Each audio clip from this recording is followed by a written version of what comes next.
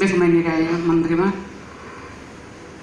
ബഹുമാന്യായ collector മറ്റ് വേദിയിലിരിക്കുന്ന ബഹുമാന്യരായ ഗുരുക്കന്മാരെ സദസ്സിലുള്ള ബഹുമാന്യരെ എല്ലാവർക്കും ആദ്യം എന്റെ നമസ്കാരം. പറയാൻ ഉദ്ദേശിച്ചതെല്ലാം എല്ലാവരും പറഞ്ഞു കഴിഞ്ഞു. ഇനി കൂടുതലായിട്ട് എനിക്ക് പറയാനുള്ളത് എന്ന് വെച്ചാൽ ഞാൻ ഒരു സാധാരണക്കാരി എന്നുള്ള നിലയിൽ മാത്രമാണ്. സംഗീത നാട അക്കാദമി ചെയർപേഴ്സൺ എന്നുള്ള നിലയിലല്ല ഞാൻ സംസാരിക്കുന്നത്. ഒരു കലാകാരനെയോ ഒരു കലാകാരിയോ വളർത്തണമെങ്കിൽ നമ്മുടെ സാധാരണക്കാരായ ചുമട്ട് തൊഴിലാളികളാണെങ്കിലും മത്സ്യത്തൊഴിലാളികളാണെങ്കിലും വേറെ ആരാണെങ്കിലും ഒരു തിയേറ്ററിൽ ഒരു സിനിമ പ്രദർശിക്കുമ്പോൾ ഏറ്റവും കൂടുതൽ കാശ് കൊടുത്ത് അതായത് രണ്ട് അഞ്ച് രൂപ ടിക്കറ്റ് ആണെങ്കിൽ അതില്ല എന്ന് പറഞ്ഞു കഴിഞ്ഞാൽ ഇരുപത്തഞ്ച് രൂപ ടിക്കറ്റ് എടുത്തിട്ട് കയറുന്നത് ഇന്ന് അവരാണ്. അവർക്ക്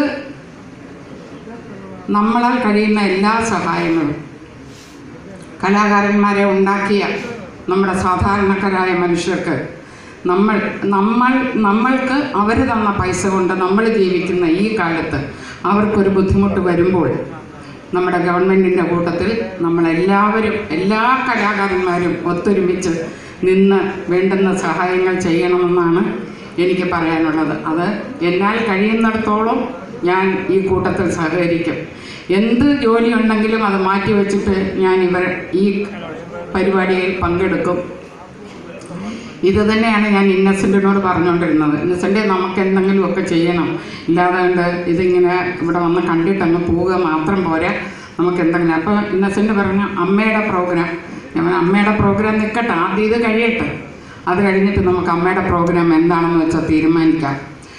ഒരു സംഗീത കച്ചേരി ആണെങ്കിലും ശരി തന്നെ ഒരു നാടകമാണെങ്കിലും ശരി തന്നെ ഒരു പ്രസംഗത്തിൽ കൂടി നമ്മൾ പറയുന്നതിനേക്കാൾ കൂടുതലായിട്ട് കൂടുതൽ മനുഷ്യന്റെ സാധാരണക്കാരുടെ മനസ്സിൽ ആഴത്തിൽ ചെന്നിറങ്ങുന്ന ഒരു കാര്യമാണ് ഒരു നാടകമോ അല്ലെങ്കിൽ അതുപോലുള്ള ഒരു കലാപരിപാടിയോ ഒരു സിനിമയോ എന്തുമായാലും. ഉദാഹരണത്തിന് വെറുതെ ഒരു ഉദാഹരണം പറയണം. നിങ്ങൾ എന്നെ കമ്മ്യൂണിസ്റ്റാക്കി എന്ന് പറയുന്ന നാടകം.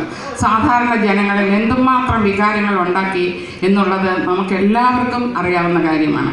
അതേപോലെ തന്നെയാണ് ഒരു മണിക്കൂർ ഒന്നര മണിക്കൂർ നമ്മളൊരു നാടകം അവതരിപ്പിച്ചാൽ നമുക്ക് അതിൽ നിന്ന് കിട്ടുന്ന നമുക്ക് കിട്ടുന്ന പ്രചോദനവും നമുക്ക് കിട്ടുന്ന സന്തോഷവും സാധാരണക്കാർക്ക് കിട്ടുന്ന സന്തോഷവും അതിൽ നിന്ന് ഉണ്ടാകുന്ന പൈസയും അവരെ സഹായിക്കാൻ നമ്മൾക്ക് പറ്റുമെങ്കിൽ നമ്മൾ ഈ ജന്മത്തിൽ ചെയ്യുന്ന ഏറ്റവും വലിയൊരു പുണ്യമായിട്ട് കരുതണം എന്ന് തന്നെയാണ് ഞാൻ ഇന്നസെന്റിനോട് പറഞ്ഞത്. അത് തന്നെയാണ് ഇന്നസെന്റ് ശരി നമുക്ക് ചെയ്യാം. നമുക്ക് എന്തെങ്കിലുമൊക്കെ ചെയ്യാം. ആരെങ്കിലുമൊക്കെ ആരെങ്കിലും ഒക്കെ പങ്കെടുപ്പിച്ചുകൊണ്ട് നമുക്ക് നമ്മുടെ കലാപരിപാടികൾ.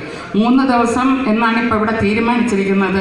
തൃശ്ശൂരിന്റെ ജില്ലയിൽ എവിടെയെങ്കിലുമൊക്കെ ഈ കലാപരിപാടികൾ അവതരിപ്പിക്കണം എന്ന് വീണ്ടും തോന്നുകയാണെങ്കിൽ ഞങ്ങളെ കഴിയുന്നിടത്തോളം ഞങ്ങളെല്ലാവരും വന്ന് അതിനുവേണ്ടി സഹകരിക്കും എന്ന് തന്നെ ഞാനിപ്പോൾ പറയുന്നു.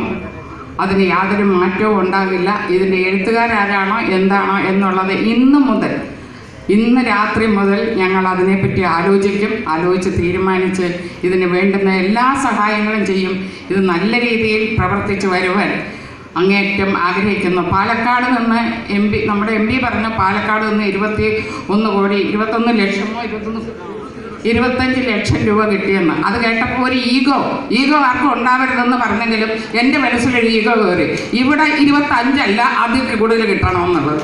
അതാണ് അതാണ് അങ്ങനെയുള്ള ഈഗോ നമുക്ക് ഉണ്ടാക്കിയെടുത്തിട്ട്. ആ ഈഗോ നമുക്ക് വളരട്ടെ. നമ്മൾക്ക് നമ്മൾക്ക് ഉണ്ടാക്കണം. നമ്മൾ നമുക്ക് ശക്തി തരണം. നമുക്ക് ഇതിൽ നിന്ന് പുരോഗമനം ഉണ്ടാവണം. നമ്മുടെ മുഖ്യമന്ത്രിയെ നമ്മൾ സന്തോഷിപ്പിക്കണം. നമുക്ക് വേണ്ടുന്ന എല്ലാ കാര്യങ്ങളും ചെയ്യണം എന്നുള്ള പ്രതിജ്ഞ എടുത്തുകൊണ്ട് ഞാൻ എന്റെ വാക്കുകൾ നിർത്തുന്നു. നന്ദി. നമസ്കാരം.